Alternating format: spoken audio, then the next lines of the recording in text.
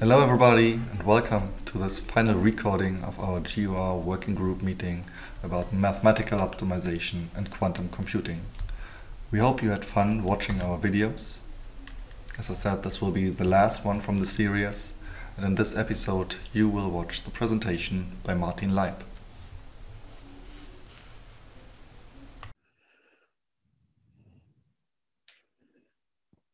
So now I see so 115 and I would like to start our next session. You're very welcome again here. And uh, we uh, have in this session two last talks with a little break in between. And I'm very pleased to introduce you uh, our first speaker, Martin Leib. He studied theoretical physics at the University of Konstanz and finished his PhD at the University of Munich on the theory of superconducting qubits. Um, after his PhD, he held three uh, postdoc positions in Japan, Scotland, and uh, Austria. And now he is employed at the Volkswagen Data Lab. Um, uh, and responsible for the development and research of quantum use case for the Volkswagen Group. So Martin, you are very welcome to start. Yeah, um, thank you for the introduction and um, thank you to the organizers for organizing this nice conference and inviting me. Um, so I'm going to talk about um, a application that we identified in our production and that we are targeting with a um, quantum algorithm for gate-based quantum computers uh, that you already heard of um, numerous times now in this in this conference, which is um, QAOA. First of all, um, I need to progress. ah, okay. Um, first of all, I would like to um, sketch a little bit an overview of quantum algorithms and um, try to motivate why we specifically chose um, this algorithm and this uh, use case. Um, there, there are two main types of quantum speedup. There's this exponential speedup and the polynomial speedup. And um, given the limited uh, resources that we are currently have at our disposal, we rather opt for an exponential speedup. And so the typical uh, thing that you can have or um, have an exponential speedup is, is this um, factoring of large numbers. And um, if you're not a Bond villain and you're really uh, interested in progressing humankind, you could take actually a um, a sub algorithm of this factoring algorithm, which is quantum phase estimation and do some quantum simulation. So this is interesting for the pharma and chemistry industry, where they really can um, speed up their research cycles if they can simulate larger molecules. Another thing that has might uh, profit from an exponential speedup is um, quantum algebra or in general matrix algebra and um, solving of linear systems and stuff like that. Um, on the other side, you have this polynomial speedup, and the paradigmatic example for a polynomial speedup is this Grover search algorithm. And uh, the application in this case is just identifying a, a, marked element in an unordered database. And you typically say, okay, this is not a use case I'm interested in. I'm only searching through ordered databases. And but think of it that way. So this um, fill a database with all the possible um, configurations to a combinatorial optimization problem and you're interested in finding the single element that um, optimizes this combinatorial optimization problem. And then you are um, at basically at something which we think it is at the core business of uh, the VW group. So this is where they, they most profit from. Unfortunately, if you're really interested in the optimal solution to that problem, we are very likely to end up only with a polynomial speedup. So, and that is why we are looking actually at um, alternative ways. So we are looking at actually approximate optimization because there it is believed that we might get something more than polynomial speedup. And I'm going to show you that this is, that we, yeah, to some extent even can show that we have a speedup that is more than polynomial. Um, another thing to uh, consider when um, searching for um, a suitable um, quantum algorithm for your application is that we're currently dealing with uh, NISQ hardware and this, so noisy intermediate scale quantum hardware, which means that we have QPUs with a small number of qubits, 10 to 100 currently. And these qubits are uh, non-error corrected and um, prone to, to errors. So basically all these algorithms that I've shown you a slide before cannot really execute, cannot really be executed on this hardware. And um, because of this, um, we, we opt for, for alternatives, so heuristics. And um, because of this, this um, finite lifetime, I say, so for, for these, these quantum, uh, for these qubits, we um, are searching for algorithms that um, have a constant time and so constant time irrespective of the size. And so these, these kind of algorithms are typically heuristics. And um, I'm going to explain this later a little bit more in detail. So they are um, hybrid quantum classical heuristics. So you have some um, quantum accelerator that is communicating with a classical computing unit. And in this communication, you basically come up with a good solution to your problem. The, the, the problem with these heuristics is that they have um, typically don't have any provable speed up. So you can just execute that and typically on state of the art hardware, that is the, the result is, is kind of disappointing. I'm going to show you this uh, on a later slide.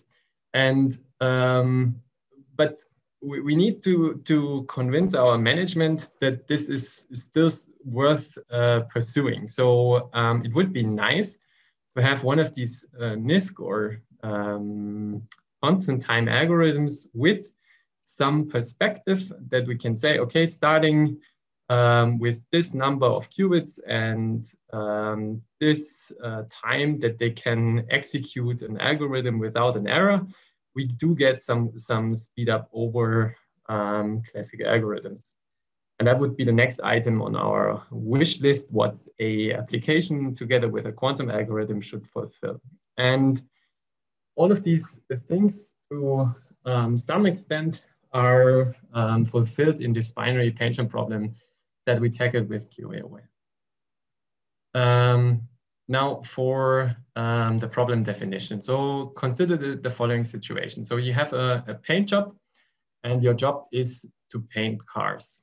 And each car needs to be painted with two colors. So can consider the following situation. So that you have a, a fender that is colored, uh, that is painted in, in red and a body that is painted in blue. So it actually doesn't matter which color you paint the car first. You could start with red, you could start with blue. And, but the second time you paint the car, you have to paint with the other color. And now your paint shop only has one um, set of, um, of uh, paint robots. And um, if you want to change the color, um, you have to flush out the old color, uh, flush in the new color, um, clean the nozzles. So all of these um, color, so a color change costs time and costs money and um, pollutes the, the, environment. So now it, we have the following situation. So you, you get a sequence of cars and this sequence of cars is random and you need to paint them one by one uh, going through the paint shop. And um, as I said before, you want to minimize the number of color changes. And the thing, and, and the trick you can play to minimize this, this um, number of color changes is to choose which color to paint the car first.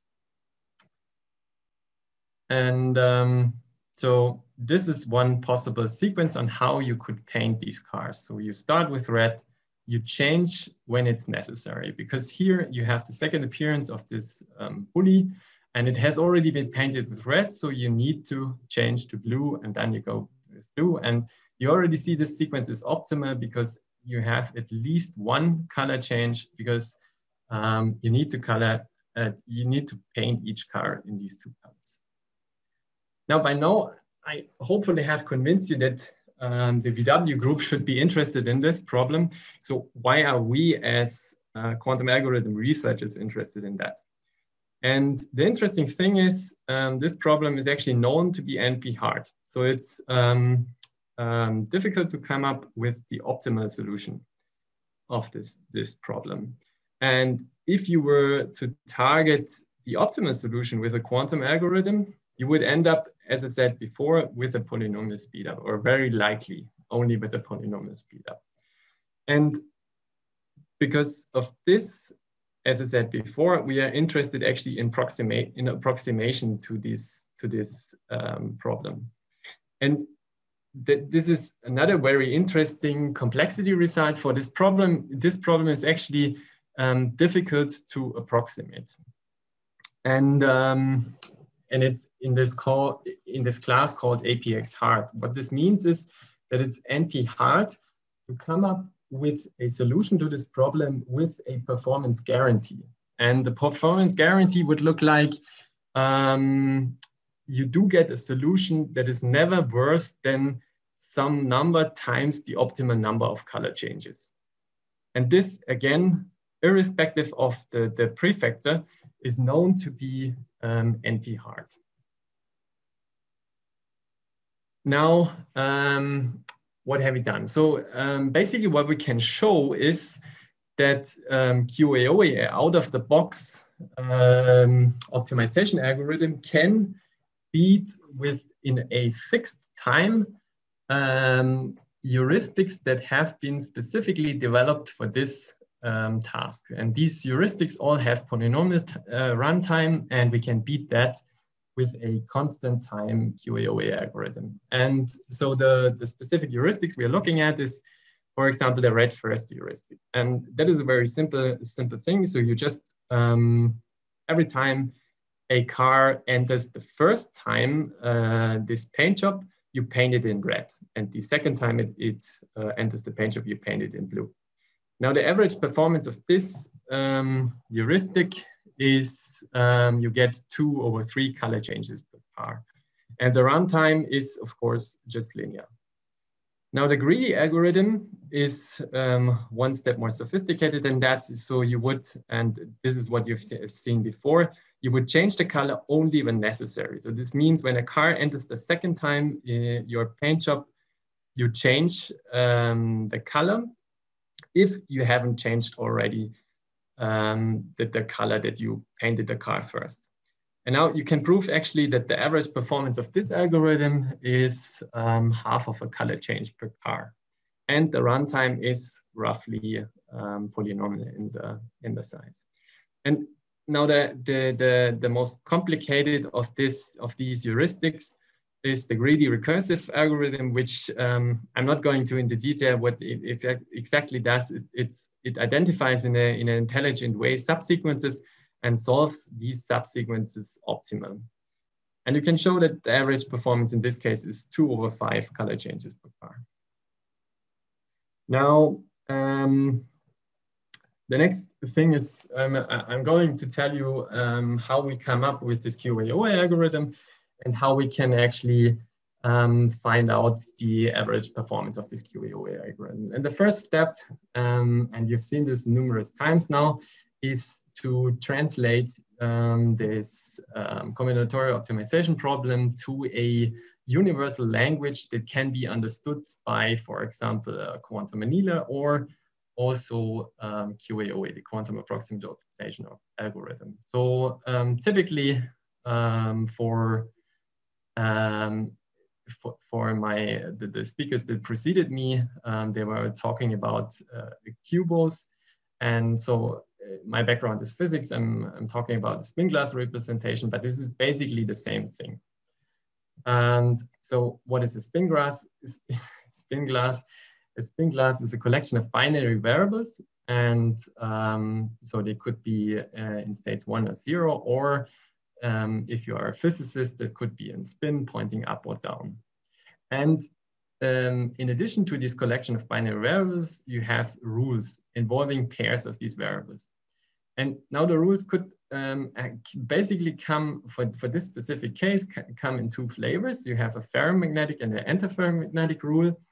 And these rules basically go, go like follows. So if you have a ferromagnetic rule, that means if um, the involved two binary variables are in the same state, so either one, one, or if you're a physicist um, pointing up, pointing up, you don't have to pay any energy cost.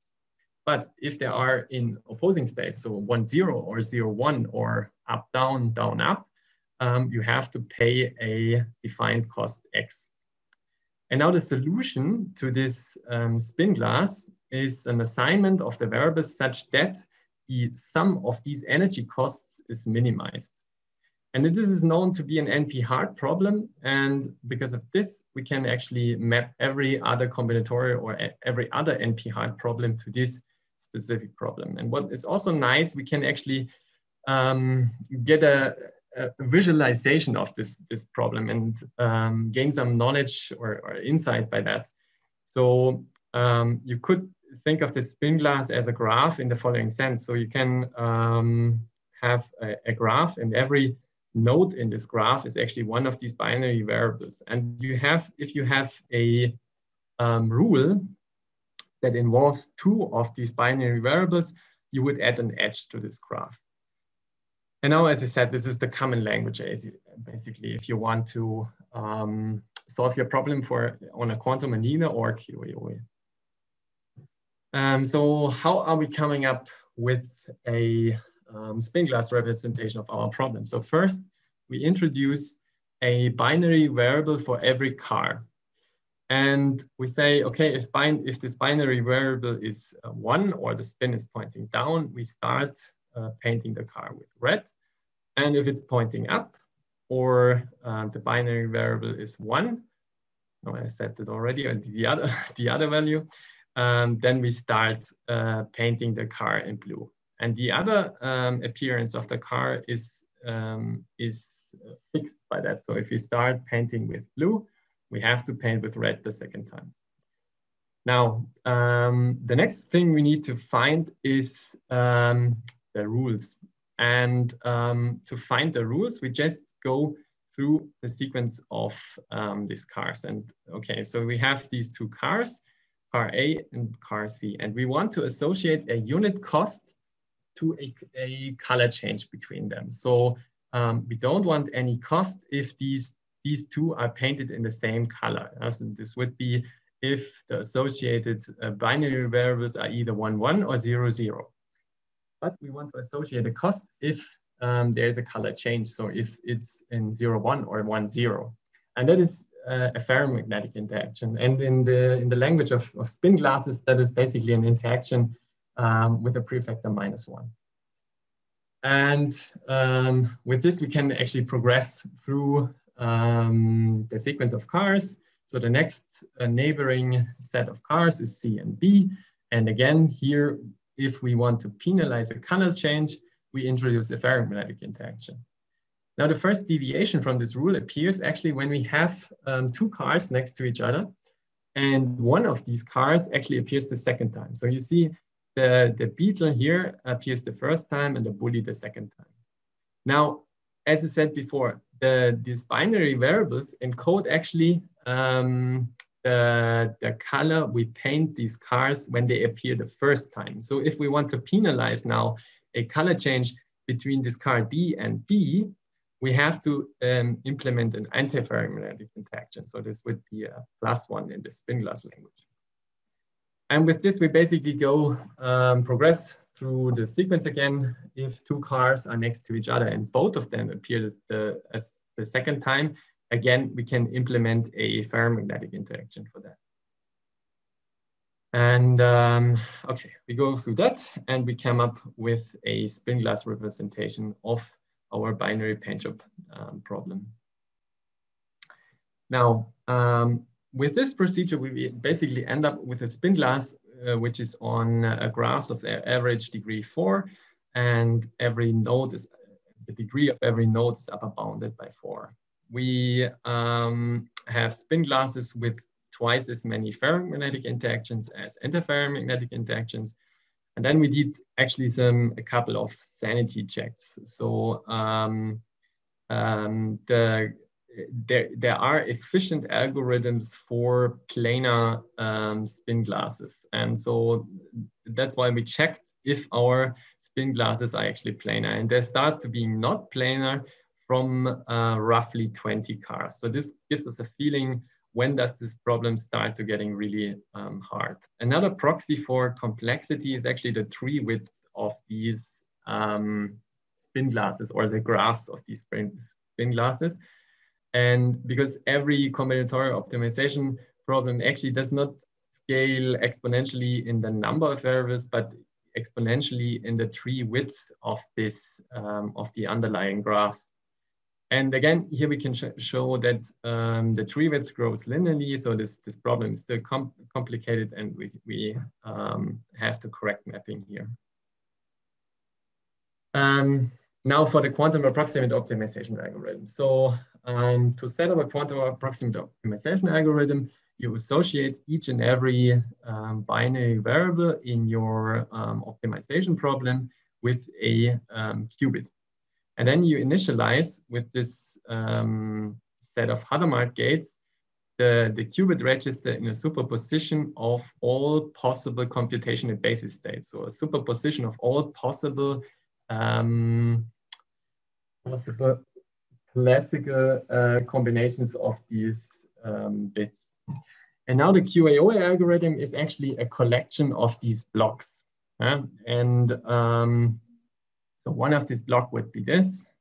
So gamma one, gamma uh, beta, beta one, and another block would be gamma two, beta two. And the following, I'm going to refer to these because uh, for QAOA, you can actually have a, um, a different number of blocks and I'm going to, to um, say in the following, um, the level one QAOA algorithm is basically a QAOA algorithm with one of these blocks.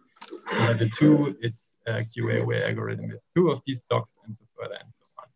And now everyone, every, every one of these blocks actually is organized in two sub-blocks.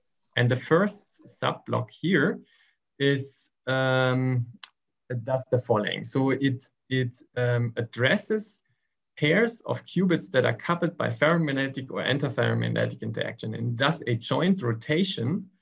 Um, let's say for ferromagnetic, it rotates it rotates the two qubits in clockwise direction and antiferromagnetic, it rotates the qubit in anti-clockwise uh, direction by a angle, which is, which is a variation, a parameter by angle gamma followed by, uh, and you're following this block with the with another sub block, which is um, a individual rotation of every qubit, um, again by a angle beta, um, with a um, in a plane perpendicular actually to to uh, the rotation plane that you used before. And again, this the, the, the angle is a variation in parameter. I'm going to explain that later, what this actually means. So, um, so by now, this, this must look for someone who hasn't seen this already, a little bit like magic, but it's actually, it has a good reason why we're doing this, is this like that. So the QAOA algorithm is some kind of spectroscopic version of quantum annealing. So for quantum annealing, you have this smooth transformation of one um, one landscape or one um, Hamiltonian to another. And in QAOA, you basically have this rapid transformation between two landscapes. Uh, and you can show that um, if you play some tricks, this can actually be superior to quantum annealing. And so what are the tricks that we're playing? So um, this is, so QAOA is a, is a standard um, um, example of one of these hybrid quantum classical algorithms. And the, the common theme is always you have some, some uh, quantum circuit which is parameterized by classical parameters. And you execute this circuit and you calculate from, from the measurement results, you calculate some loss function and you use some, some um, outer loop optimizer, which is classical, to optimize the parameters according to this, to this um, loss function. And that is exactly the same as you would do training a neural network, for example. And, and indeed, so for some of our projects, we're using uh, a gradient um, free optimizer from TensorFlow just to optimize these, these um, circuits. Um, in the case of QAOA, the loss function is the average cost that we get um, from the output and we are optimizing um, these parameters, so these angles that I, that I spoke before, um, such that um, the loss is minimized, which we want in the end, because the loss in our case is the number, the average number of color changes. Um, now, um, for this, I, I'm not going to into detail in this case, but um, this is also one of the reasons why we're very excited about this application is that we can actually get rid of this outer um, optimization loop. And that um, uh, is, is basically due to work we did before. So if um, your problem graph has some um, characteristics, and namely if it is regular and all the interactions are of magnitude one, you can actually guess these um, very good parameters so that they are near to optimal parameters in this case. And this, again, as you can imagine, um, substantially speeds up this algorithm. If you don't have to have these, these optimization, auto optimization, you can just start uh, running and getting uh, results right away. And um, so uh, now the conundrum we are actually in is um, we want to um, find out the performance of this algorithm without even executing it. Because in the end, um, we want to know how would this algorithm perform on a um, perfectly unitary, so fully error corrected QPU uh, with, with an infinite size QPU actually.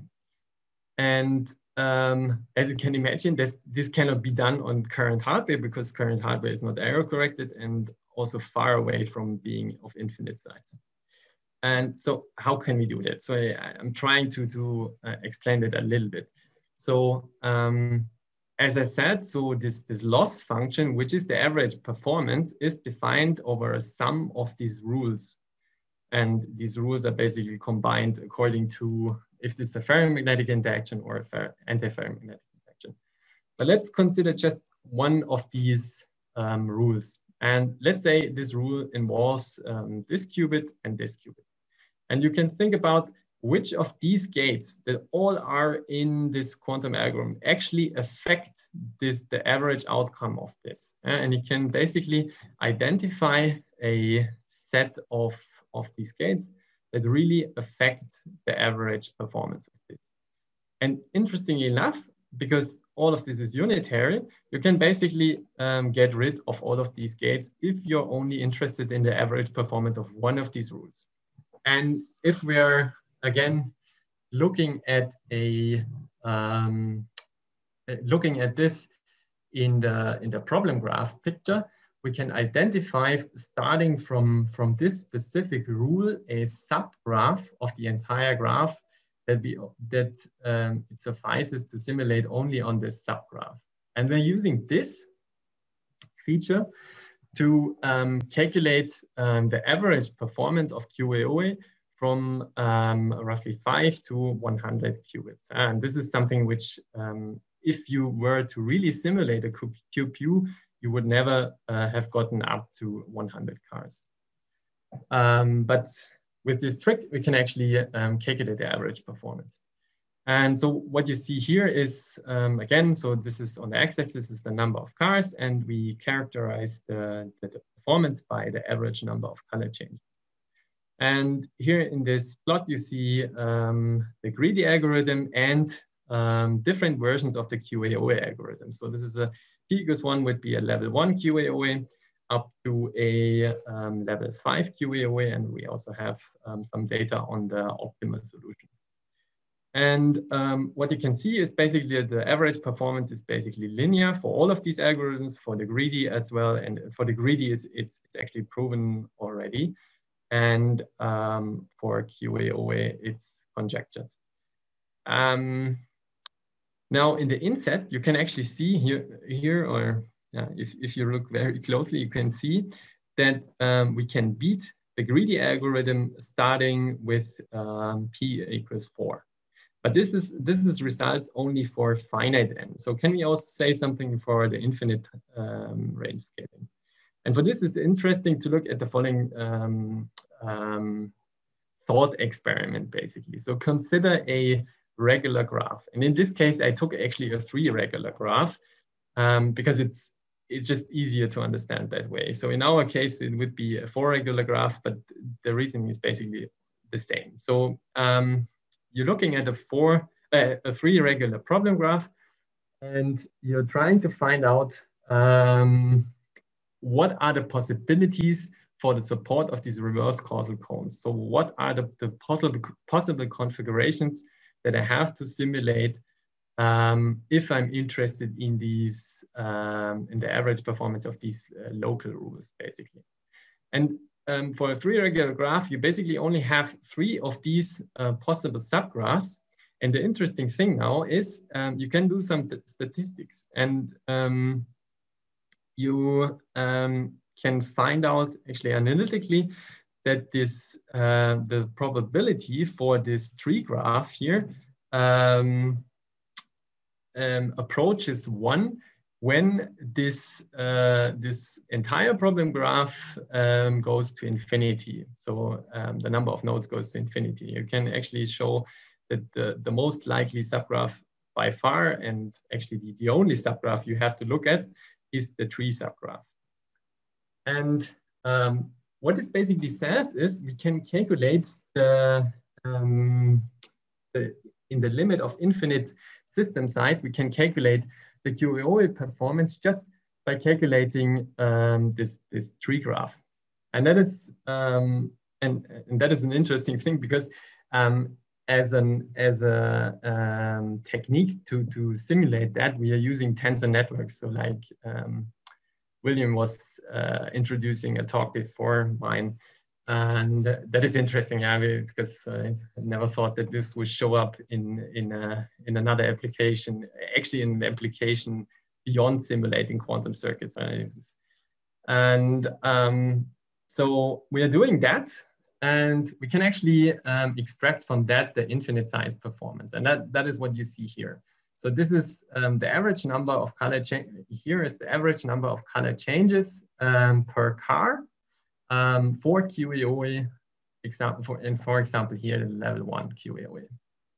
And you can beat, uh, you can actually show that um, with level one, you can beat uh, random guessing. And um, with level four, you can beat the greedy algorithm. And with level seven, you can beat um, the recursive greedy algorithm. And this is really exciting for us because in the end, this means that we can um, reduce uh, polynomial runtime, or you can, can get on average better results uh, with a constant runtime um, compared to um, heuristics that have been specifically developed for the problem um, with a polynomial runtime. And um, by now, I hope you are very psyched about that.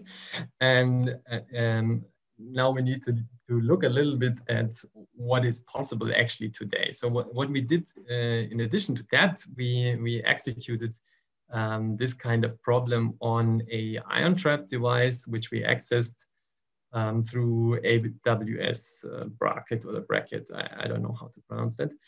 And um, so these are the results. So what you see here is basically what we did. We uh, generated random instances of this binary painter problem um, we execute that on this ion trap computer and we um, have here the statistics of these results. And we actually, this, this, this, this um, property delta C is, is uh, rescaled performance and um, delta C, if delta C is zero, is uh, zero, that would mean that our QPU is behaving like uh, fully error corrected QPU and uh, delta c equals one means um, the, the output of the QPU is not discernible from just a random number generator.